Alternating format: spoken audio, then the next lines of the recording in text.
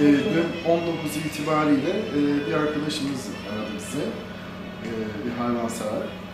E, o vesileyle öğrenmiş olduk. Akabinde e, tabii olayın ciddi e, boyutlarda olduğunu gördüğümüzde de hemen ekibimizle beraber olay yerindeydik.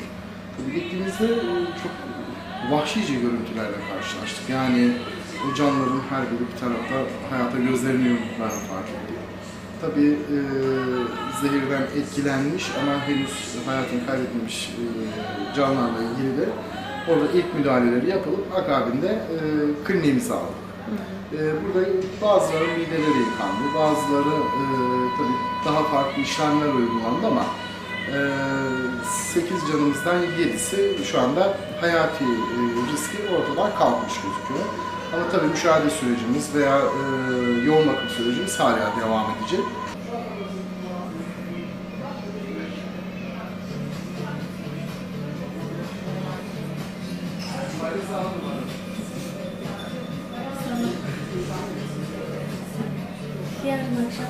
Yaklaşık dün 14 kişilik bir ekip müdahale etti. Ee, yaklaşık e, 10 kişi klinikteydi.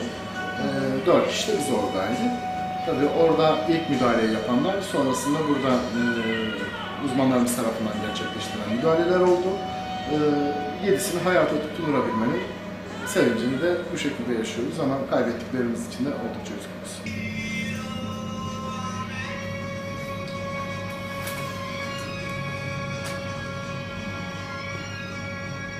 Bir tanesini kaybettik evet. O da kliniğimize e, hani gelemeden yolda hayatını kaybetti. Hadi geç yerine. Hadi geç yerine. Sen çok büyüksün, geç yerine. Korkutma diye. Gıda e, içerisine karıştırılmış bir zehirden e, zehir olduğunu gördük. E, tabii e, burada kusturduğumuzda da e, fark ettik ki tavuk etleri vardı. E, tabii çeşitli gıdalar da vardı içerisinde ama çok hızlı seyreden e, ve hayati noktada çok çabuk sonuç e, oluşturabilecek bir toksinle karşı karşıyaydık.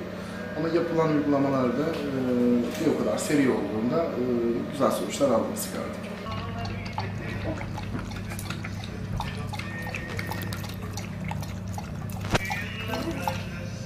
Su içmeleri çok önemli. Artık şu kedilerimizden, köpeklerimizden, özellikle sokakta yaşama zorunluluğu olan canlarımızdan lütfen elimizi çekelim ya. Biz onların yaşam hakkını gasp ediyoruz aslında. Herkes fark ediyor mu bilmiyorum ama eee, onların yaşam alanlarında onlara saygı duymayı öğrenebilirsek bence mutlu mutlu yaşarız diye düşünüyorum.